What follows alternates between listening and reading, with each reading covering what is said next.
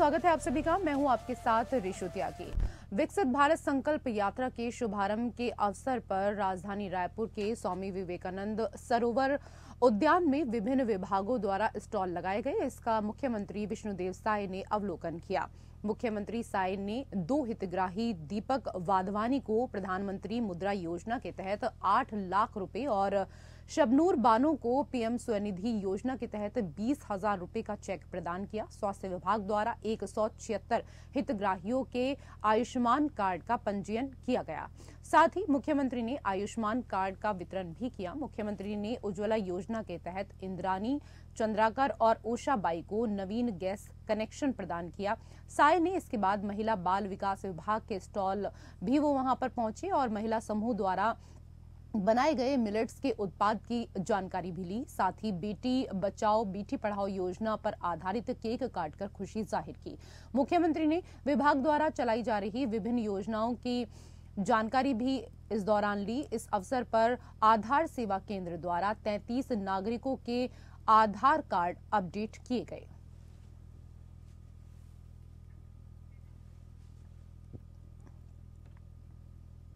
उधर राजधानी रायपुर के बूढ़ा तालाब मैदान में यात्रा की शुरुआत मुख्यमंत्री विष्णुदेव साय ने हरी झंडी दिखाकर की।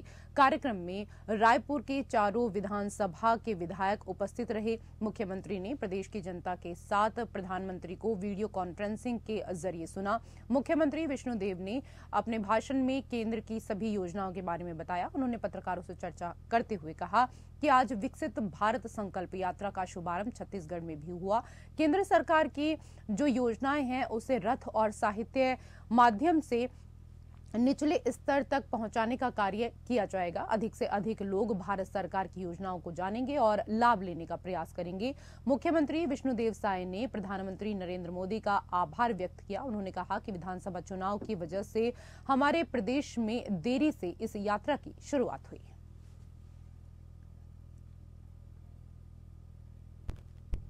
आज विकसित भारत संकल्प यात्रा का शुभारंभ हमारे प्रदेश में हुआ, छत्तीसगढ़ में। विधानसभा चुनाव की वजह से थोड़ा देरी से इसका शुभारंभ हमारे प्रदेश में किए। और भारत सरकार की जो योजना है, वो रथ द्वारा और साहित्यों के माध्यम से निचले स्तर तक पहुँचाने का काम ये विकसित भारत संकल्प यात्रा के माध्यम से होगा।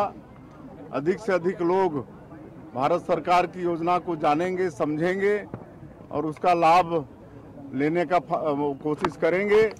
और हम लोग का सौभाग्य है कि इस अवसर में हमारे देश के यशस्वी प्रधानमंत्री श्री नरेंद्र मोदी जी का उद्बोधन सुनने को हम सब लोगों को मिला। तो सीएम साय ने हरी झंडी दिखाकर इसको रवाना किया। राजधानी रायपुर के बूढ़ा तालाब मैदान में यात्रा की शुरुआत। मुख्यमंत्री विष्णुदेव साय ने हरी झंडी दिखाकर की। कार्यक्रम में रायपुर के चारों विधानसभा के विधायक भी पहुँचे हुए थे। मुख्यमंत्री ने प्रदेश की जनता के साथ प्रधानमंत्री को वीडियो कॉन्फ्रेंसिंग के ज़रिए इस दौरान सुना। मुख्यमंत्री विष्णुदेव ने अपने भाषण में केंद्र की सभी योजनाओं के बारे में भी इस दौरान जानकारी दी। उन्होंने पत्रकारों से बातचीत करते हुए कहा कि आज विकसित भारत संकल्प यात्रा का शुभारंभ छत्तीसगढ़ में भी हुआ है। केंद्र सरकार की जो योजनाएँ हैं, उसे रथ और साहित्य के माध्यम से निचले स्तर तक पहुँचाने का कार्य किया जाएगा।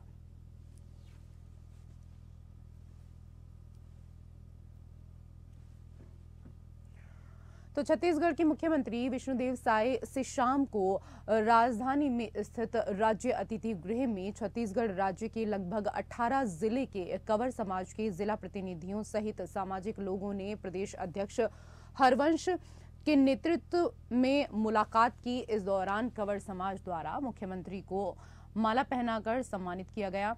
मुलाकात के दौरान प्रदेश अध्यक्ष ने कंवर समाज द्वारा आगामी दिनों में मुख्यमंत्री के सम्मान में आयोजित कार्यक्रम में उन्हें आमंत्रित किया है। इस पर मुख्यमंत्री ने कार्यक्रम में शामिल होने के लिए आश्वस्त भी किया। मुख्यमंत्री विष्णुदेव से मुलाकात के दौरान प्रतिनिधिमंडल में कबर समाज के नकुल चंद्रवंशी, बसंत दीवान, सविता साय, टीकाराम कंवर, संदीप कुमार पैकरा, उर्मिला पैकरा, अंजुना चंद्रवंशी, मनीषा कंवर संत लाल दीवान कुंज बिहारी पैकरा सहित समाज के अन्य पदाधिकारी बड़ी संख्या में पहुँचे हुए थे।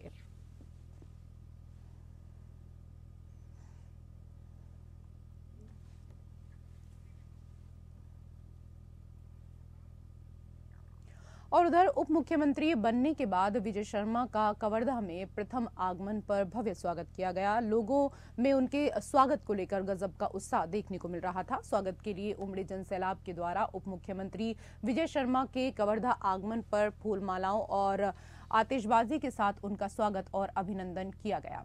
विजय शर्मा के स्वागत के लिए राजनांदगांव बाईपास से बाइक रैली निकाली गई। रैली मुख्य बाज़ार मार्ग से होते हुए गुरु नानक चौक, ऋषभ देव चौक, एकता चौक, सिग्नल चौक, गांधी मैदान पहुँची। जगह जगह पर लोगों की भीड़ ने पूरे उत्साह के साथ उनका स्वागत किया। उप मुख्यमंत्री विजय शर्मा की बाइक रैली ठाकुरदेव चौक के पास पहुँची, जहाँ पर विभिन्न संगठनों के द्वारा लड्डुओं से तौलकर उनका अभिनंदन भी किया गया। उप मुख्यमंत्री विजय शर्मा का स्वागत काफिला गुरुद्वारा पहुँचा। वहाँ पर उन्होंने माथा टेक कर राज्य की प्रगति, समृद्धि और खुशहाली की कामना की। स्वागत के क्रम में विजय शर्मा, कबीरधाम ज़िले के ग्राम अगरी, दशरंगपुर, पनेका, इंदौरी, धर्मपुरा, बिरकोना रानी सागर छिरहा पहुँचे, जहाँ पर ग्रामीण जनों और समाज प्रमुखों ने उनका भव्य स्वागत किया।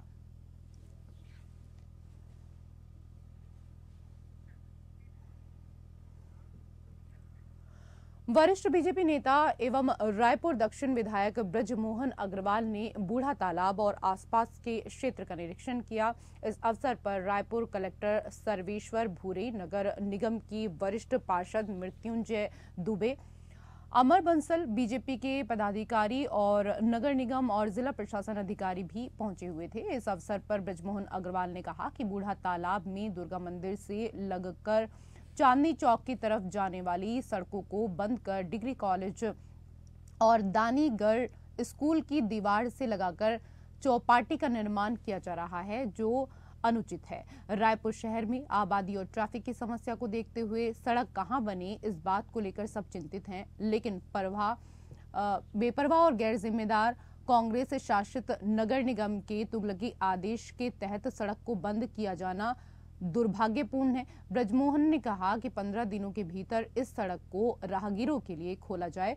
उन्होंने कहा कि हम जनप्रतिनिधियों को कोई भी काम, जनभावनाओं और जन सुविधाओं को देखकर करना चाहिए। इस सड़क के बंद होने से हज़ारों लोग प्रभावित हुए हैं। स्कूल, कॉलेज की बच्चियाँ भीड़ भरे, मुख्य मार्ग में न जाकर इसी रास्ते का प्रयोग करती थी। इसमें एकमात्र युवा है। यहाँ पर नई रोड बनाने की बजाय किसी रोड को बंद कर दिया गया ये पहले रोड थी और इसमें लगभग दस हज़ार बच्चे दानी स्कूल के बच्चे, डिग्री गर्ल्स कॉलेज के बच्चे S C S T hostel के बच्चे, कालीबाड़ी स्कूल के बच्चे, ये बच्चे इस रोड से अपने घर जाते थे, जो अभी कालीबाड़ी चौक में फंसते हैं।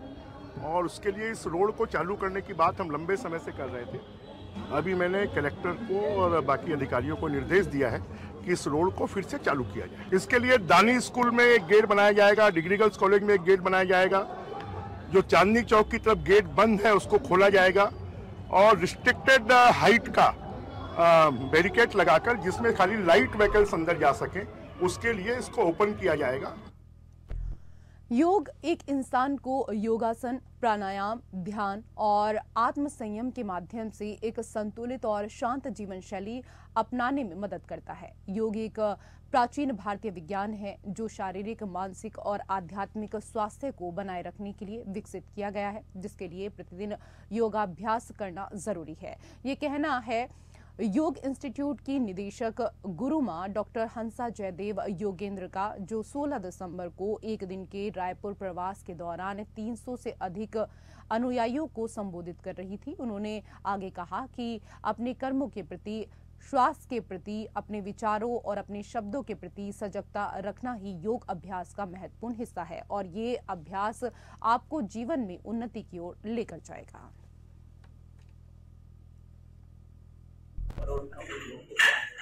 और इसीलिए मैं इंडियन योगा एसोसिएशन के प्रेसिडेंट यानी सारे योग के जो सेंटर्स हैं, दुनिया भर के, और जो मुख्य सेंटर है बड़े बड़े वो सब उसके मेंबर्स और हम लोग यही सोच रहे थे क्या किया जाए, ऐसी कौन सी बेसिक चीज़ योग में होनी ही चाहिए, अगर आप योग रहे हो, इसको हम निर्धारित और उधर नर्मदापुरम के शासकीय नर्मदा महाविद्यालय के सांस्कृतिक हॉल में प्रधानमंत्री नरेंद्र मोदी की विकसित भारत संकल्प यात्रा का शुभारंभ कार्यक्रम शनिवार 16 दिसंबर को जिला मुख्यालय में किया गया।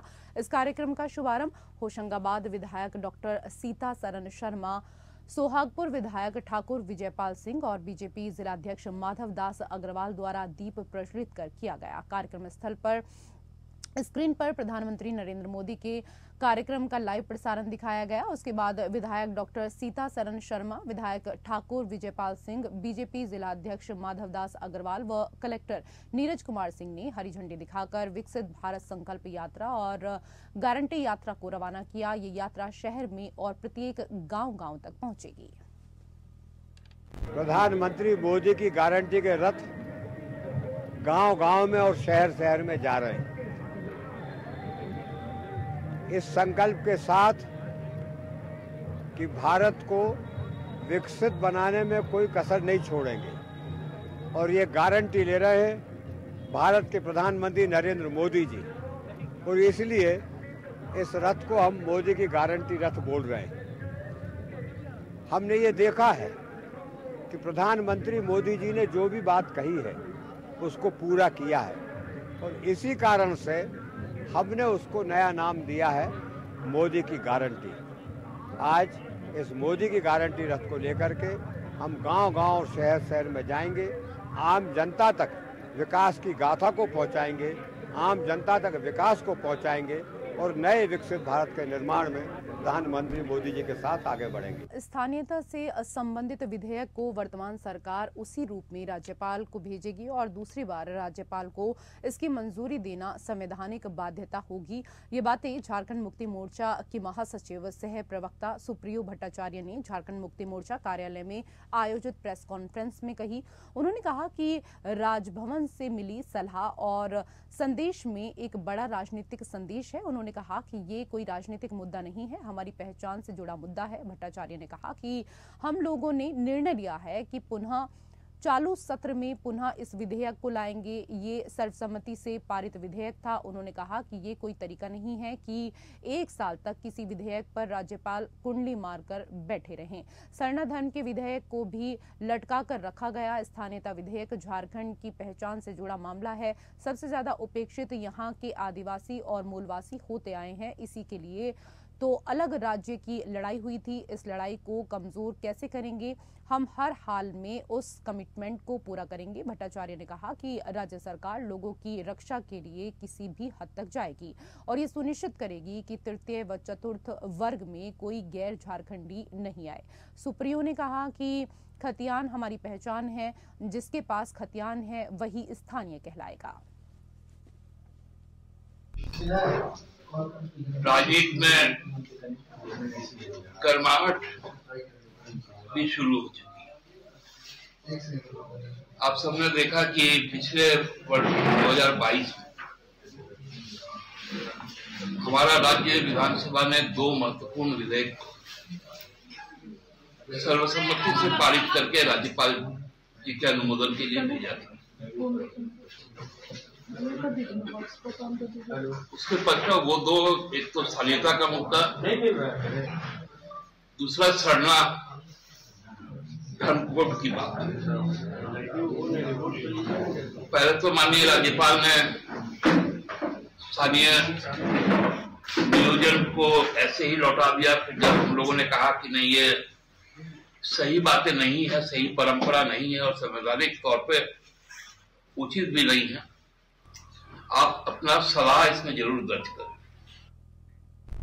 और उधर रांची के राजभवन के समक्ष अधिकांश लोग अपनी हक और अपनी मांगों को लेकर जूझते हुए नज़र आते हैं और तत्कालीन सरकार से अपनी मांगों की ओर अपने हक के आंदोलन करते नज़र आते हैं। वहीं आज बीजेपी के नेता प्रतिपक्ष अमर कुमार बावरी ने राजभवन के पास धरना स्थल का दौरा किया। उन्होंने देखा कि कैसे अपनी मांगों के लिए लोग काफ़ी लंबे समय से कपकपाती ठंड में बैठे हुए धरना दे रहे हैं। वहीं दूसरी ओर एक ऐसे आंदोलनकारी से भी मिले जो हमें आज़ादी दिलाने का काम किया है, लेकिन फिर भी उनकी बातों को आज दरकिनार करते हुए अपनी मांगों को लेकर राजभवन के समक्ष धरना दे रहे हैं। इस दौरान अमर कुमार बावरी ने आंदोलनकारी की बातों को सुनते हुए उन्हें माला और शॉल भेंट किए और उनके पैर छूकर आशीर्वाद भी लिया और कहा कि आपकी मांग जायज़ है और इसे पूरा करने के लिए प्रयासरत रहूँगा और शीतकालीन सत्र में आपकी आवाज़ उठाने का कार्य करूँगा।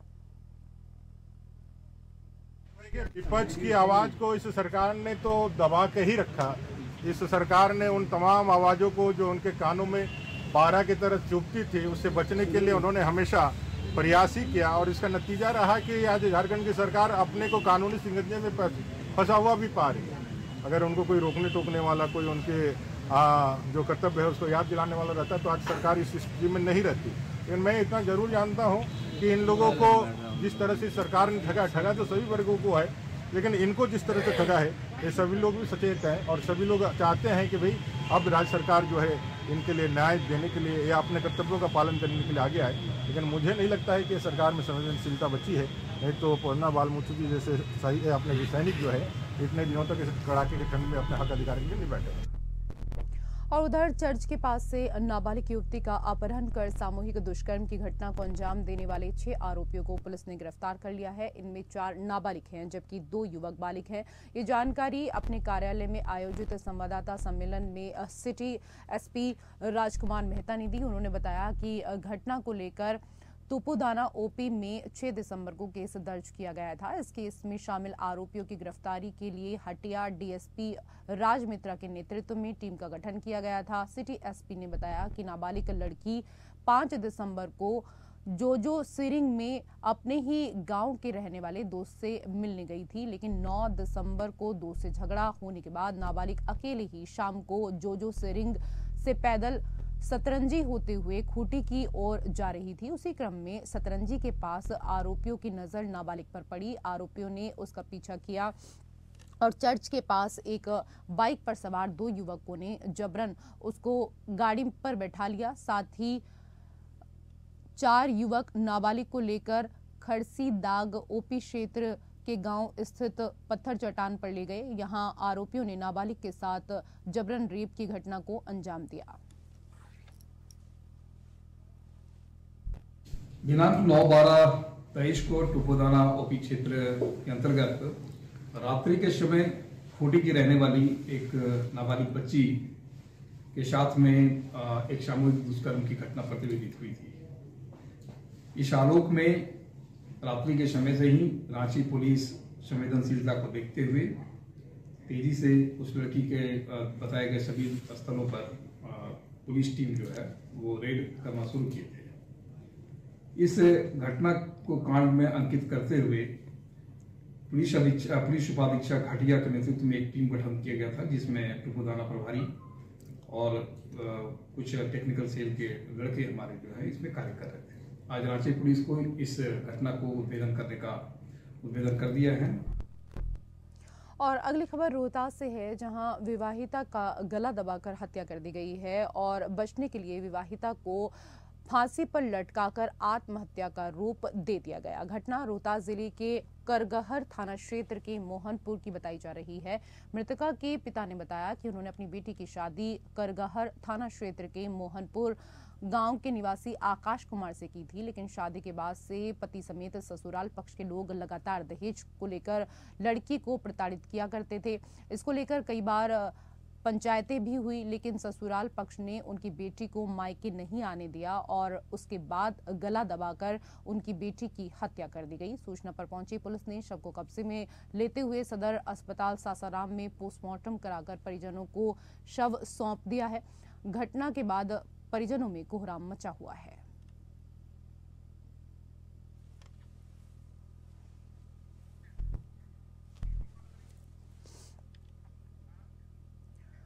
और उधर एक युवक का शव दावत थाना क्षेत्र के पडरिया में पेड़ से लटके हुए पुलिस ने बरामद किया है। पेड़ पर युवक के शव को लटकते हुए देख इलाके में सनसनी फैल गई। शव की शिनाख्त दावत थाना क्षेत्र के कमल राम के बेटे फूल बदन कुमार के रूप में हुई है। शव की शिनाख्त के बाद परिजनों में कोहराम मच गया। मृतक युवक के परिजन ने बताया कि फूल बदन घर से पिछले दो दिन पहले घूमने के लिए निकला था। परिवार वालों का कहना है कि आत्महत्या नहीं, बल्कि हत्या है।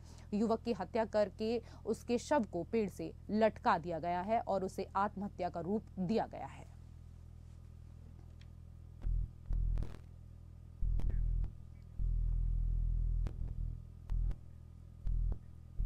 भगवान राम की नगरी अयोध्या में बिजली की समस्या ना हो और वो जगमगाती रहे। इसके लिए एनटीपीसी टांडा आगे आया है।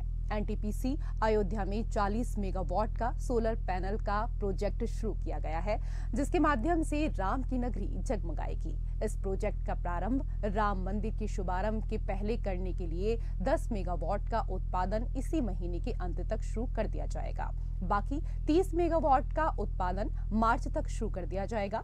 एनटीपीसी के जीएम ने बताया कि सरयू के किनारे प्लांट पर काम शुरू हो गया है। इतने में अयोध्या को बिजली पर्याप्त हो जाएगी। यदि भविष्य में और आवश्यकता होगी तो इसको बढ़ाया जाएगा। आ, सर एनटीपी तरफ़ से अयोध्या को सोलर सिटी डिक्लेरेशन जो माननीय मुख्यमंत्री जी और हमारा गवर्नमेंट का जो प्रयास है उसको साकार करने के लिए 40 मेगावाट का हम सोलर प्लांट बैठाने जा रहे हैं। और हमारा टारगेट है कि दिसंबर एंड तक 10 मेगावाट हम कमीशन करना है और by March end forty megawatt करना है। सो so दैट हमारा जो भी हमारे वहाँ रहेगा वो सोलार से रहेगा रिन्यूएबल से रहेगा। क्या सप्लाई के लिए भी कोई बातचीत अभी हुई या कोई प्रयास आप लोगों नहीं वो जो पावर वहाँ से जनरेट होगा उधर ही अयोध्या सिटी में ही लगेगा।